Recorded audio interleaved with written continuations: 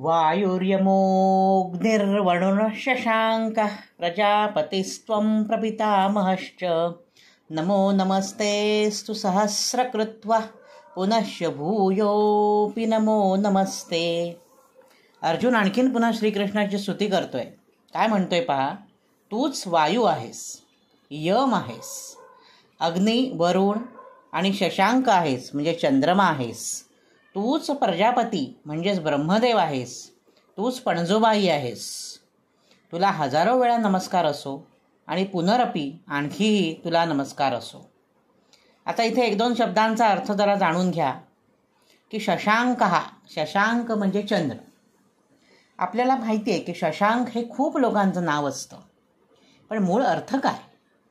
शशकहा म्हणजे ससा. आपण जर पौर्णिमेच्या पूर्ण चंद्राकडे पाहिलंस. तर चंद्राच्या पृष्ठभागावर आपल्याला शशाचा आकार दिसतो. शशकहा शशाहा म्हणजे ससा अंक म्हणजे मांडी.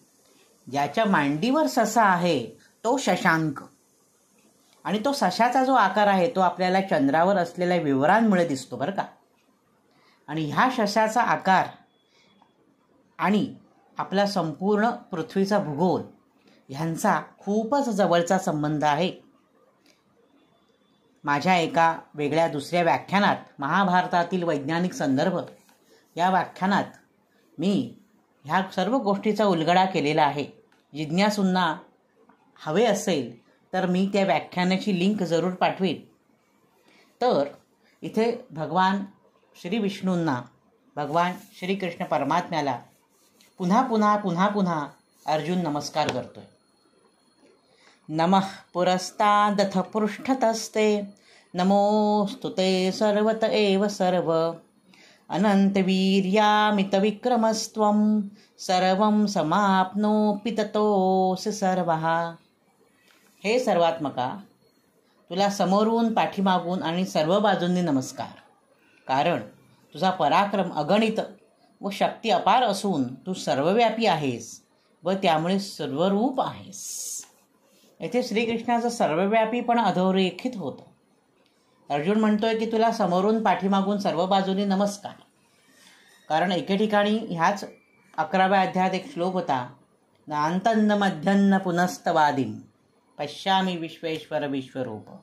तुला अंत नाही तुला मध्य नाही कारण तू वर्तुळाकार मला दिसतोयस. वर्तुळाला आरंभ बिंदू नसतो अंत्यबिंदू नसतो. तू सर्व बाजूनी गोलाकार आहेस. त्याच्यामुळे तू कुठे उभा आहेस? तुला नक्की कुठे शोधायचं हेच मला कळत नाही. त्याच्यामुळे तुला पुढून मागून आणि इतर सर्व बाजूंनी मी नमस्कार करतो. तू जिथे असशील तिथे मी तुला नमस्कार करतो. आणि तुझा हा तू वीर्यवान आहेस. वीर्य ह्याचा अर्थ पराक्रम. अतिशय पराक्रमी आहे श्रीकृष्ण परमात्मा. हे तर आपल्या सर्वांना माहितीच आहे. तर तू सर्वरूप आहेस सर्व साक्षी आहेस आणि सर्व व्यापी आहेस. पुढील श्लोक पुढच्या भागात पाहू. नवनवीन माहितीपूर्ण व्हिडिओ पाहण्यासाठी ऐकण्यासाठी वैभव दातर ऑफिशियल हा माझा यूट्यूब चॅनल जरूर आणि जरूर सबस्क्राईब करा. धन्यवाद.